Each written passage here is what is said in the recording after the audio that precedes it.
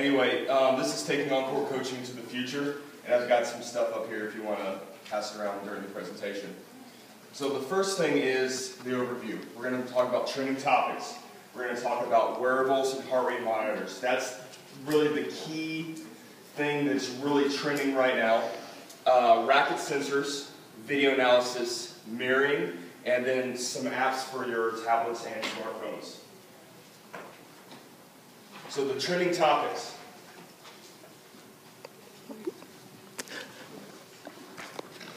What happened?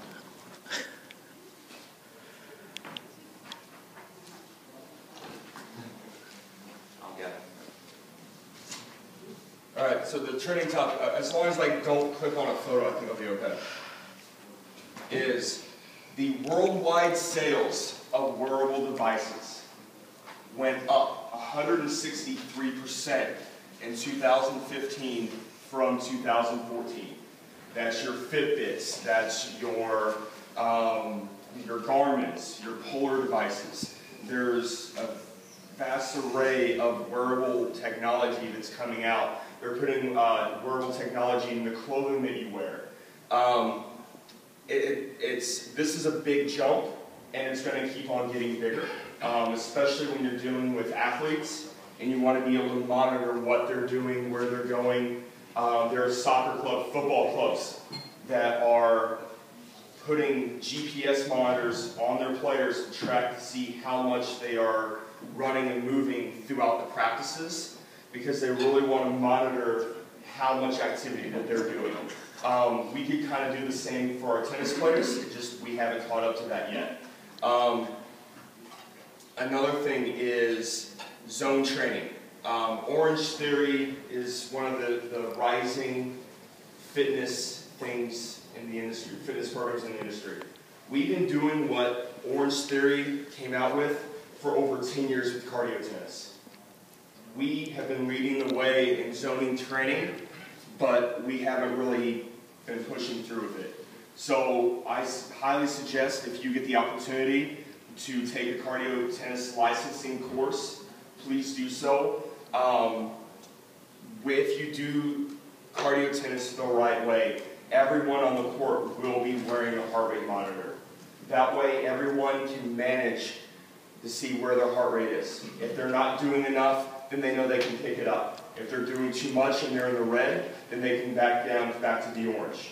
So if you guys aren't familiar, there's uh, different levels. There's gray, blue, there is green, which is the third level, orange, which is level four, and then red, which is level five. And you don't want to get, get above level red, or else that's very expensive as far as insurance and hospitals. Um, the next trending topic in the area of fitness, because as we're going together as tennis professionals, we need to look and see what the other industries are doing. And one of the training topics is body weight training and functional fitness. That's being able to train anywhere. How many of you gone to a local park and seen a group of five, ten people doing what, what you would call calisthenics, push-ups, um, burpees, uh, jumping jacks, and they're all in like a boot camp group. That is something that's really jumping off, and um, really another thing, the functional fitness is working on your ABCSS. Okay, that's agility, balance, coordination, strength, and speed. Okay, that's really what people are looking for right now. They're not looking to get huge. They're not looking to, well, everyone's a little bit different. But that's the main thing that's trending right now is they want functional fitness. They want fitness to help them in their everyday lives. And tennis is one of the best avenues we can do that. We just have to be able to market to those people and be able to, to if you have a beginner or you have a group of beginners or you have a group of people that maybe used to play 5, 10, 15 years ago, well, you can say, hey, let's go out to our tennis class and tennis groups and get us, get us going. The days of us hitting a ball and having four people in line watching one person hit a ball are over. If you're still doing that in your groups, you may not have any groups for too much longer. Because the pro down the street is moving on, and they're going to find him, and they're going to go see him. Okay? Um, I know Stan uh, Oley talked about that in his uh, lecture yesterday, so I won't echo that too much more. Um, the next thing is retailers and fitness coaches. Uh, the new trend is you go in and you buy a pair of shoes.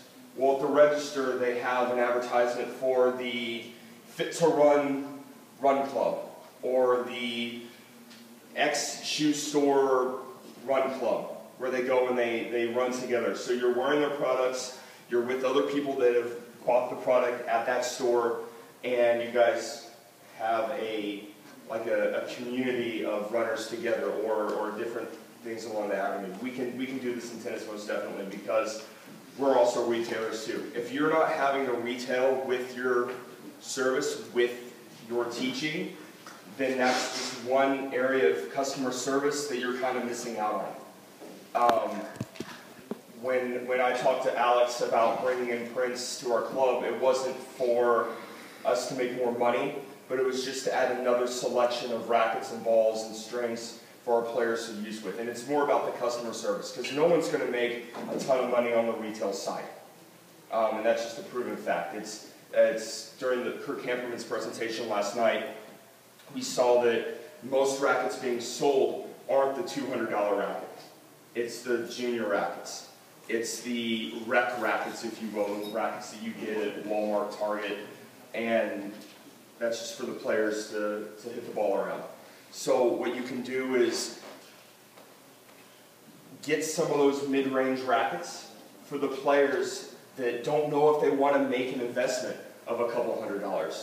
If you can get a tweener racket and sell it for $60 and they go and they like it, then maybe after a while they'll go and bump up to a, a better model if, if, they want to do that.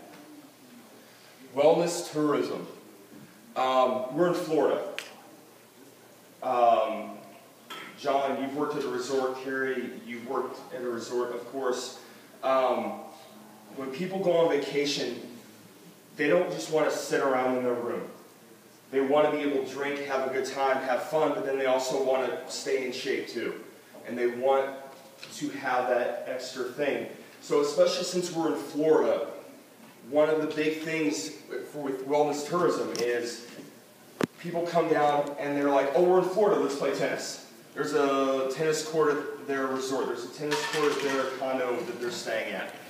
If we can get out there and make the connections with places that only have maybe one or two courts and say, hey, if you have anyone that wants to take tennis lessons, please let me know. Here's a bunch of my business cards, make those connections.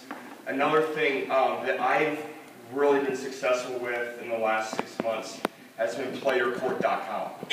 Um, I know there's also my tennis lessons uh, out there, but I, I, really haven't branched off to that. But playyourcourt.com, um, I just checked my bank account. I just had a $500 deposit from playyourcourt.com for this past month.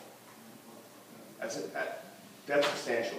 $500 from people that aren't at my club, from people that want to learn how to play tennis, and they don't know where to find the tennis room. Because if you're looking for anything anymore, if you're not online, then you are getting skipped out because anytime anyone looks for anything now, the first thing they do is they go to Google and they go to Bing and Yahoo. Okay, you have to be online. The um, uh, I'll talk about this later. Another thing, in addition to uh, playyourcourt.com, is Yelp.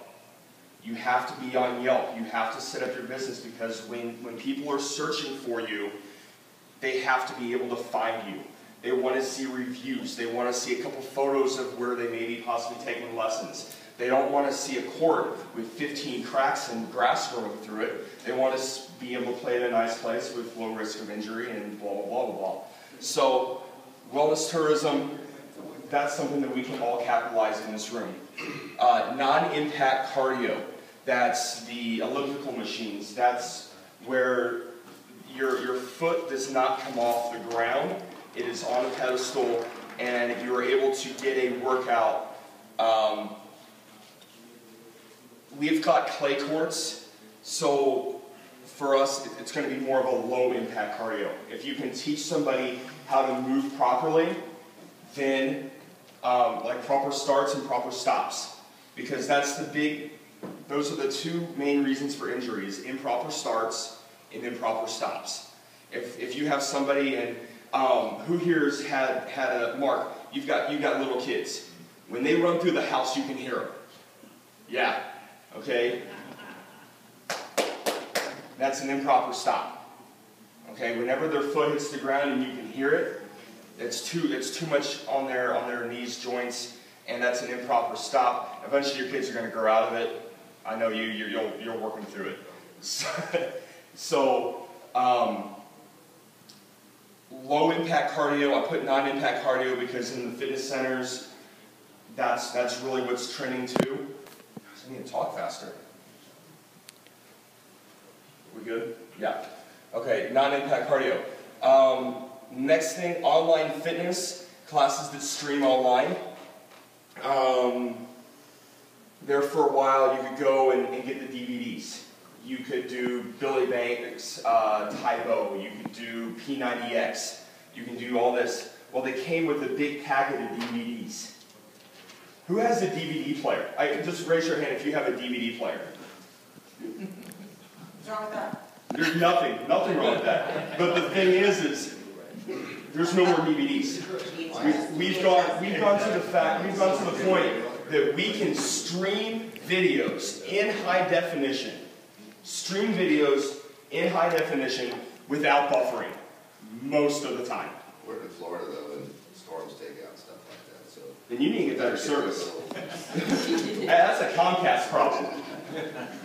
If, hey, if, if you're in the middle of a storm and your power goes out, you got more to do than worry about your online fitness Okay. Um, unless you're that dedicated to it, but I could get the dogs and the cats inside. Uh,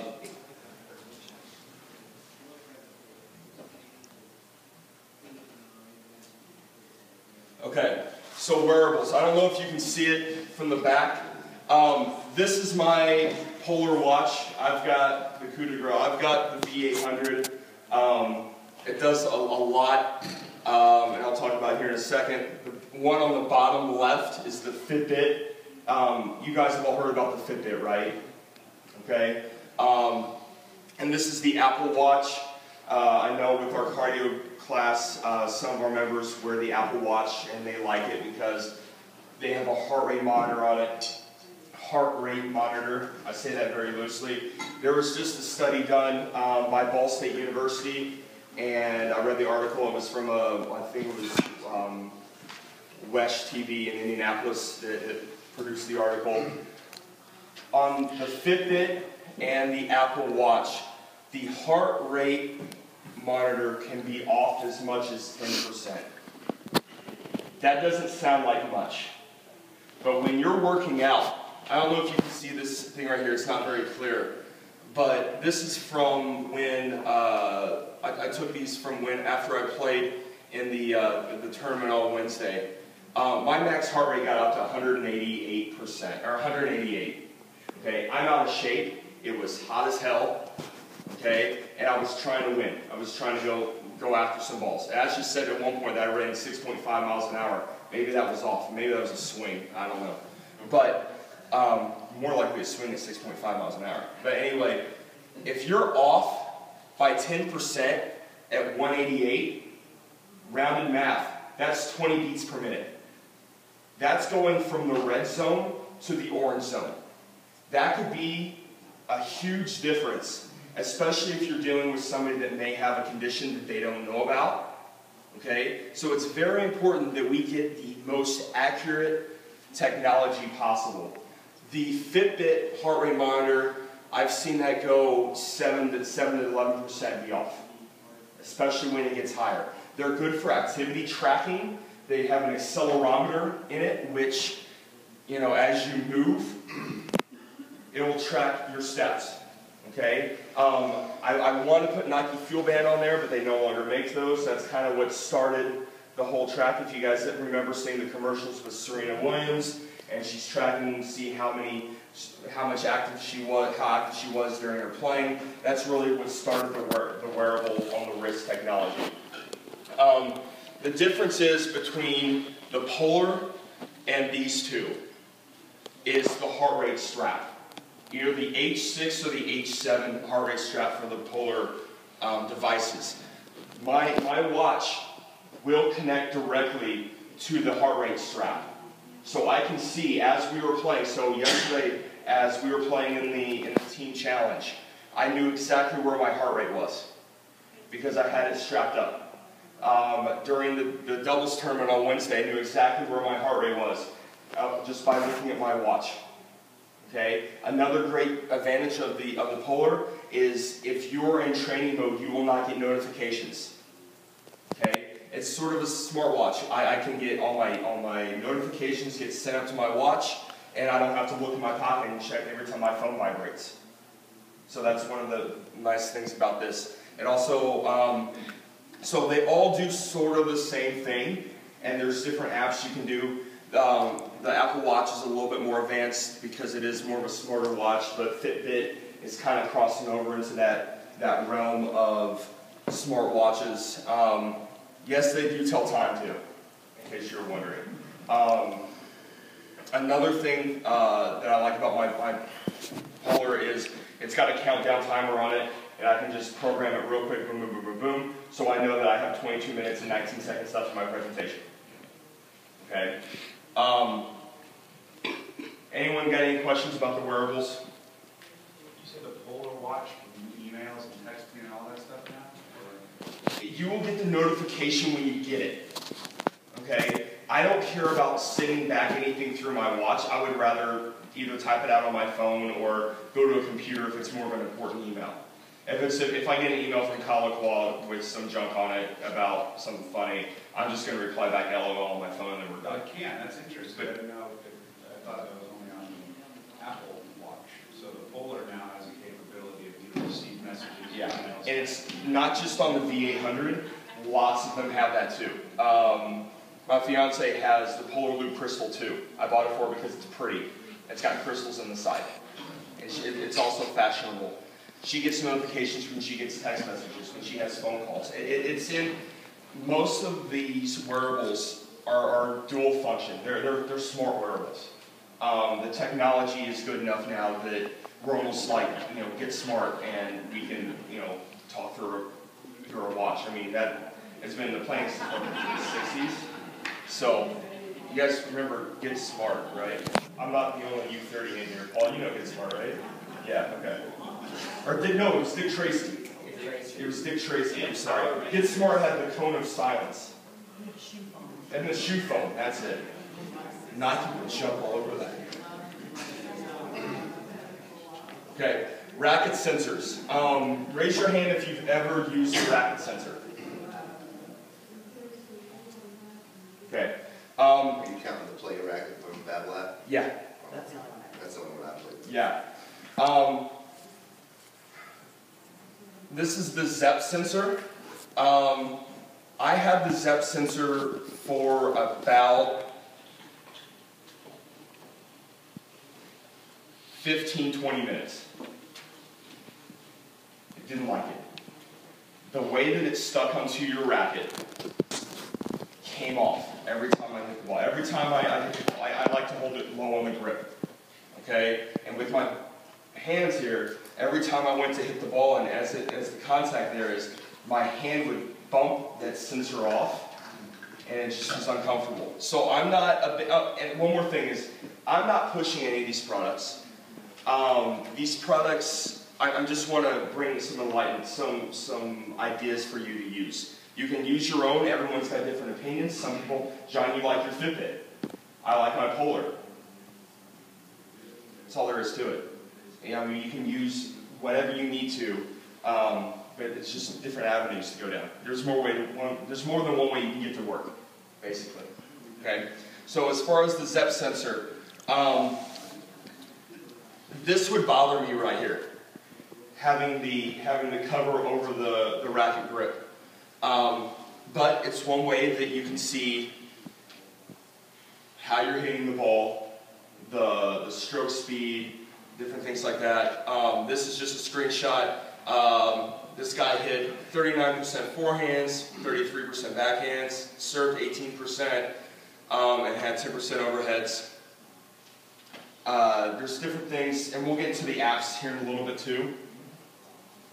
The next one is what uh, John was talking about, was the uh, Babolat sensor. Does does the same thing, except there's not. It's not an external sensor. It's internal. It's inside the racket. Okay, I know Stan uses it in his presentation sometimes, um, but you can see exactly, you know, the the speed of your hits. Um, there's a heat map on here to tell you where you're striking the ball on the strings, whether you're striking it here closer to the frame or more in the center of the racket. The next one is the one I, I really like the best, and that's the Sony sensor.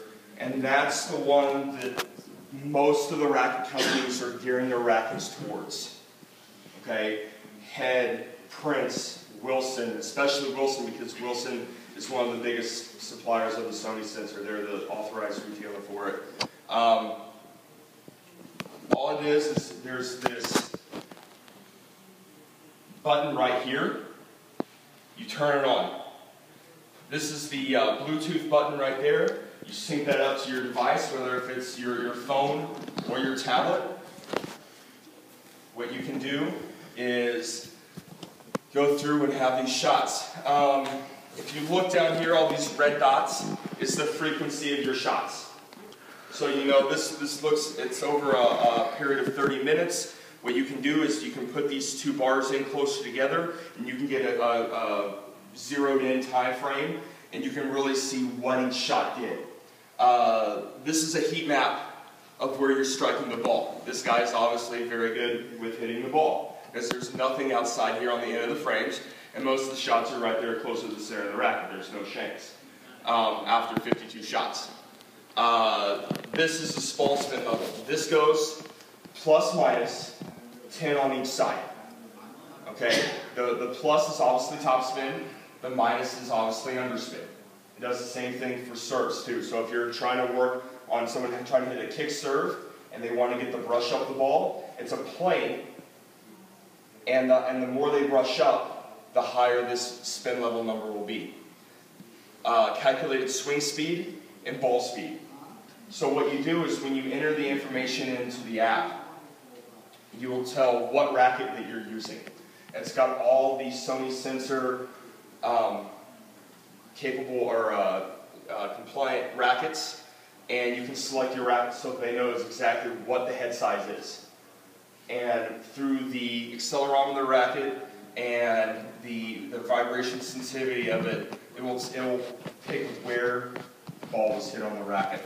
So if you're working on somebody and they're like, man, I, am hitting the ball pretty good today, and then you, you look up there and it was all right here, they're like, yeah, well maybe we can like bend our knees a little bit lower and you know get underneath the ball and maybe hit the ball more in the center of the strings.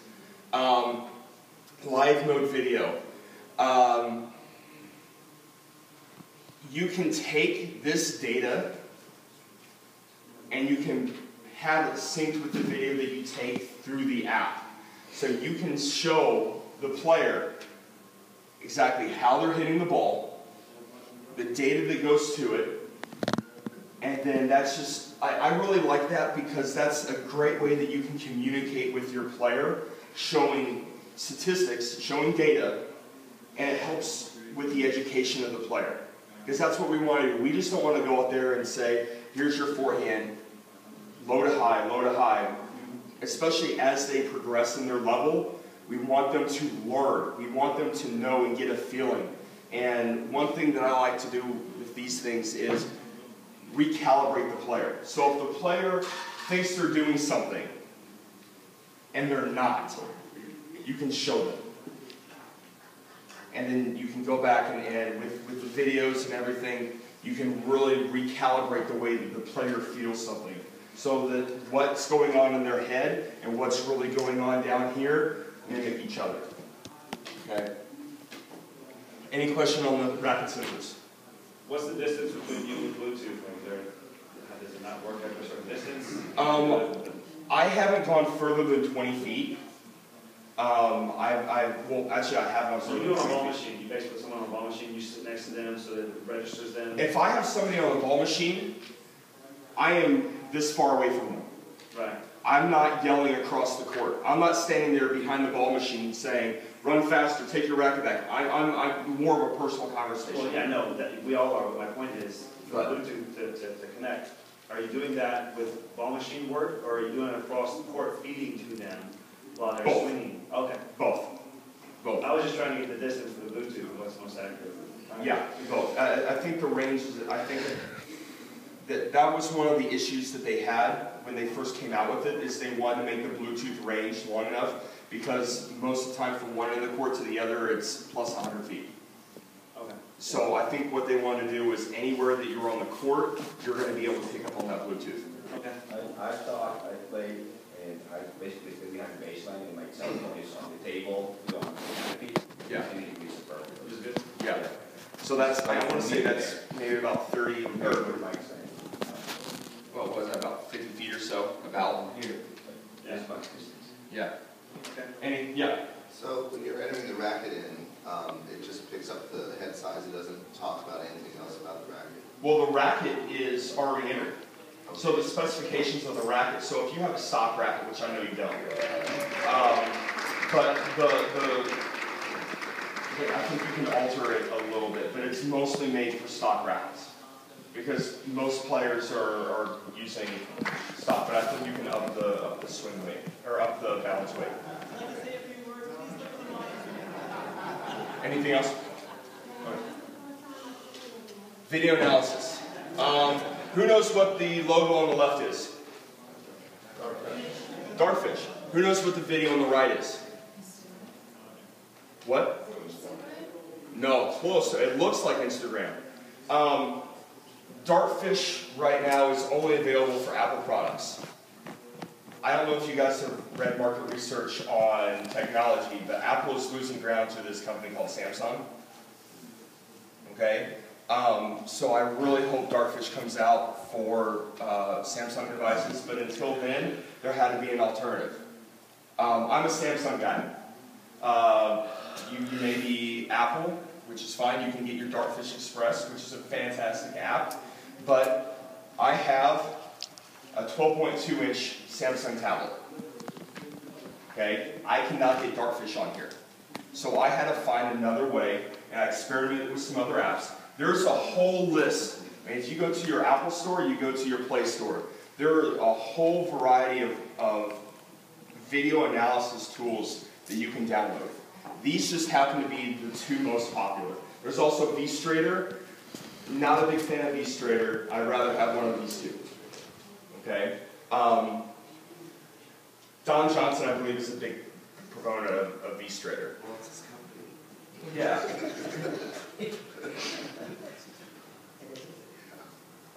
Okay. Um, how to record a video on a cell phone camera. This is what we see a lot. This is what needs to happen. Okay. Um, I mean, I think Charlie bit him. this is going to be fun. I gotta find where my cursor is first. We got sound on?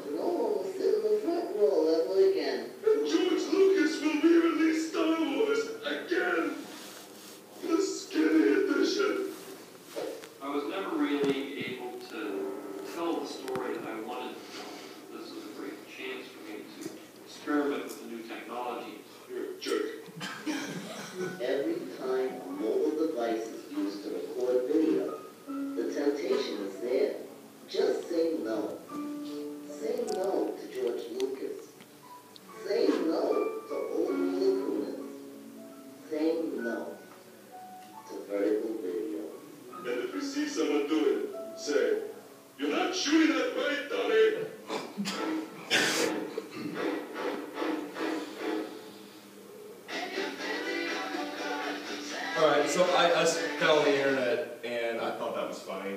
Um, it's funny because it's true. Um, as we go on here, this is uh, for Coach's Eye. Um, you can go through and you can stop and you can go frame by frame so you can get the player to see exactly what they're doing. Um, one thing here uh, with the player, we were looking, working, um, she was separating her hands too early on her backswing. So we really want to keep her shoulders closed because when she was separating, she was opening up her front shoulder too soon. Um, and we were also working on our head position here too, so we can just demonstrate and, and, and on this and really show her exactly what she was doing. Um, another thing you can do is you can draw, you can, you can put angles. You can't see it very well, but right here there's an actual angle that you can go. So when you're looking at body positioning and the, and the uh, biomechanics, and the kinesiology behind this, then you can really dig into what they're doing. Um, this is more of the extended backswing. I really don't like the term ATP and WTA backswing um, at all. I, I really don't like it. Um, in case you are not aware, uh, WTA backswing, a lot of people call it, is where they break the plane. Okay? Uh, the ATP is where they keep it more off to the side. Um, I don't like that term. Uh, I call it extended backswing and abbreviated backswing. Okay, we do it on the serve. We call it, you know, the Roddick serve, the abbreviated. Why not do it for the forehand too? Um, because there's a lot of players on both sides. There's a lot of men that hit the WTA forehand. There's a lot of women that hit the ATP forehand. Okay, so I don't really like that terminology, ATP, WTA. But one thing that uh, she is doing here is she has that big backswing. Part of that big backswing is related to um, improper junior equipment as they were developing. Okay, as they're trying to get racket head speed, their rackets were too heavy for them as they were juniors. Okay, she's about five foot four and she's an adult. Okay, so when she was growing up, she wasn't a very big person. Her, her parents aren't very, you know. So um, this next slide here is going to be a side-by-side video comparison. Okay, uh, this video was taken about three weeks or after this video here. Okay, one thing that I really wanted to work on her with was making sure that she was extending more through the ball. With, with the video, I was able to break down her swing and show her that she was not extending through the ball as much as what she thought she was. So I was able to recalibrate her thinking and get that, that arm extended more. Okay, um, this is a high-level player. She does play Division One tennis now. Um, mirroring. Got about four or five minutes here left. Mirroring. Um, one thing that we do eh, at our club is when we're working with players, sometimes if, if we're doing like a large group setting of, of video recording, especially in the summer when it's hot and we need to take them off the court a little bit, I want to make our break times functional. I want them to, to have their own time, but at the same time, we need to really work on some, some different things too and really get to see what they're, they're working on. So in our, in our pro shop, we have a TV mounted up on the wall. I can mirror whatever I took the video of with my Chromecast, which is on the right. This is the, the other version of it here. What it is, is it sticks into the HDMI port of the TV. The other goes into, and it's hooked up here with a micro USB cable. The USB goes in to power it. You have to have Wi-Fi. If you don't have Wi-Fi, you can always get a jetpack and add it to your, to your plan. Um, this is actually what we are using right now for the internet. So when we watch that video, we stream the video over my jetpack. No buffering. Okay? Um, so just some little little things here that to kind of help you through in case you don't have the things in your club. Say you're working in a, a municipality without Wi-Fi, and you want to be able to do this, or you want to take videos and show your player the Novak Djokovic backhand. Okay, to be able to do that, you may need to get some Wi-Fi so you don't, so you can show them what it is on your tablet. Um, I really like using my tablet over my phone on the court because they're not always. The parents aren't going to be like, "Oh, you're on your phone." Well, if you're on your tablet, oh, you're doing, you're actually doing some work, and also it's a bigger display too. Um, even though the phones are getting bigger, this is still a lot bigger, so they can see it and you can zoom in a lot more. Um, the, the device on the left is an Apple TV. Uh, you can pair it up with your Apple device. So if you have Apple, I suggest the Apple TV. If you have Google, I suggest the Chromecast. Um, I don't know what the Apple TVs are going for, but I know the Chromecast is going for about 30, 35 bucks. Pretty inexpensive.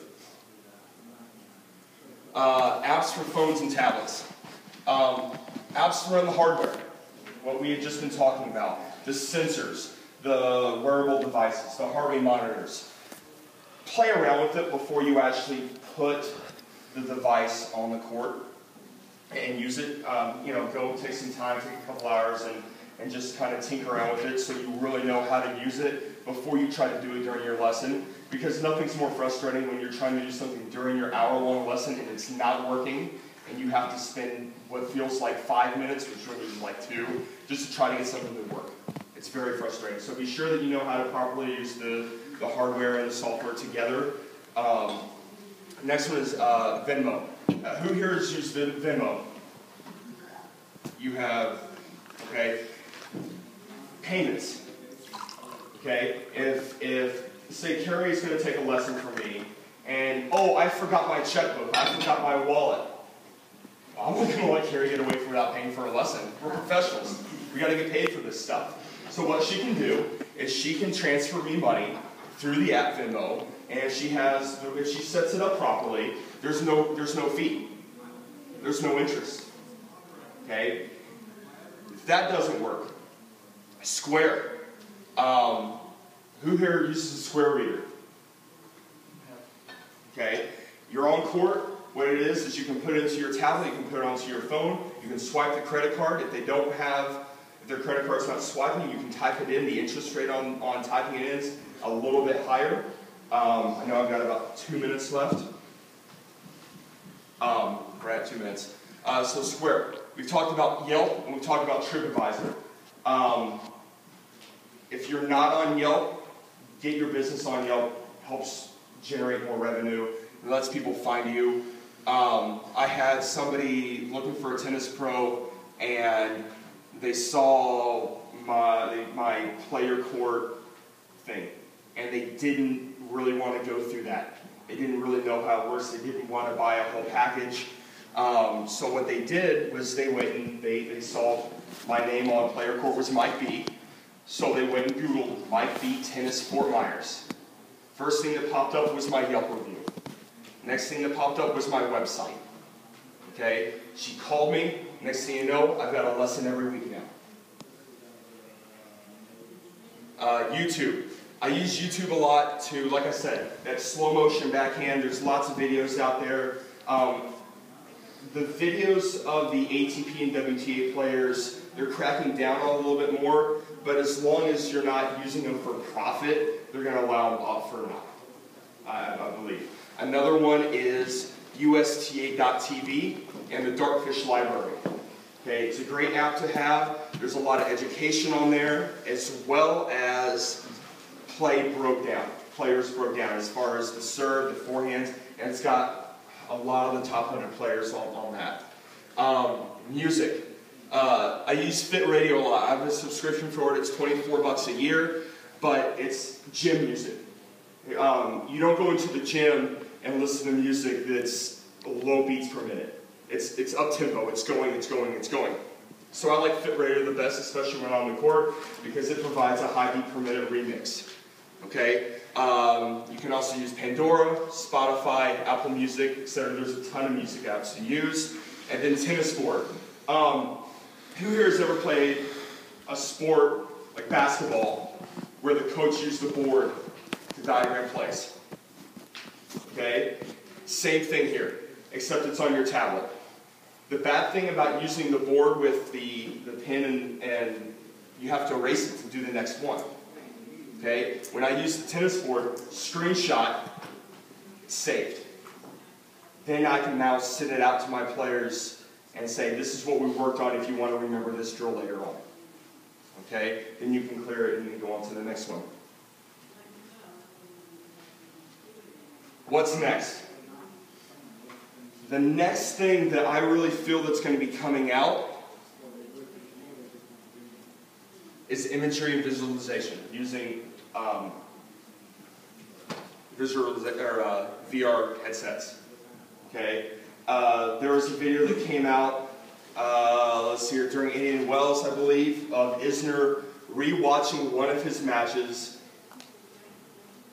with 365 degree capability, watching him play his opponent. Okay? Who here has done imagery with their players before? Okay? Especially when you're working with high performance, this is going to be another avenue that you can help do that. There aren't any apps yet through, um, through the stores that are tennis specific. Um, so that's why this is the next thing. I, I hope that somebody can develop some stuff to uh, some apps that can really help the tennis players and, and on sports. Um, I know I have one of these headsets. I, I left it at home, unfortunately. But I was able to watch the Final Four sitting courtside while the play was going on down there. When I turned my head to the left, I was looking at the empty basket. Okay, timeouts, cheerleaders around on the floor. It was like I was actually sitting in the game, uh, at, or at the game.